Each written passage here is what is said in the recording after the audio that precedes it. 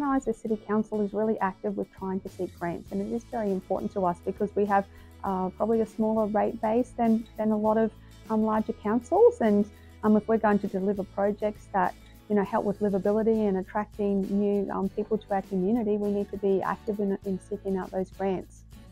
And Mount Isa City Council was so thrilled to be able to get um, the grants um, for celebrating our 100 years. It was great to um, foster community spirit, to let new people in our community learn about our past, have some of those big significant events, and also build a legacy piece of infrastructure known as now Centennial Place. That's a great place for our community um, to spend time and for people to come and visit when they're passing through town.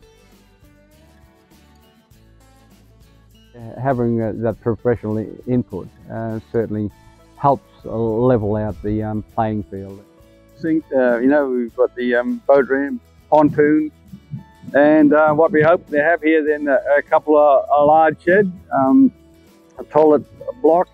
Have a uh, water park and a, swimming pool would be great to um, help uh, children uh, and, and, and adults, but especially the children to have a quality of life.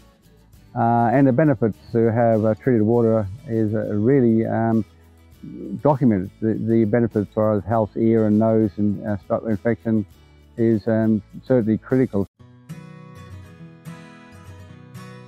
It's extremely important to Carpentaria Shire Council.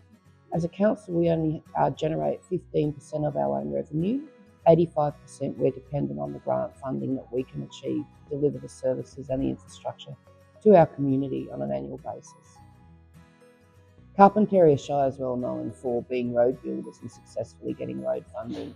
But what's really important to us are the other kind of grants that we can go for that build community infrastructure, like supporting um, hazard a reduction around coastal areas and um, developing youth programs, promoting our tourism and tourism events, um, improving our water and sewage assets. And Peak Services has helped deliver um, deliver those services to us by helping us get those grants and winning that grant funding.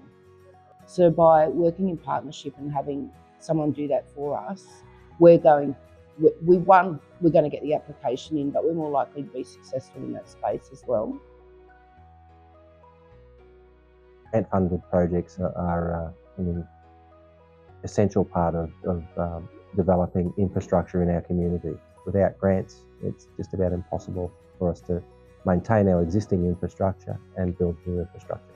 When, when the grants come out, if we can't uh, write the applications ourselves, it's important for us to be able to access people with the appropriate skill set to do it for us. And to be able to say we have a childcare centre that offers, you know, up-to-date um, facilities, especially in a rural remote area, I think is a key to um, enticing them.